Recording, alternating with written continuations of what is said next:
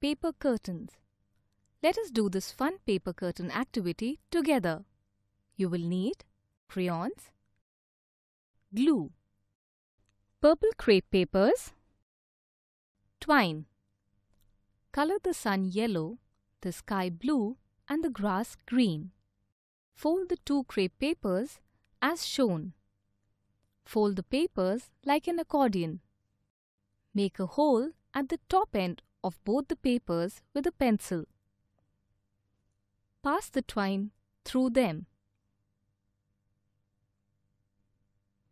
Tie a loose knot at the ends of the twine. Apply glue on the ends of the twine and paste it on the window. The paper curtains are ready. Try to open and close the curtains by moving them carefully along the twine.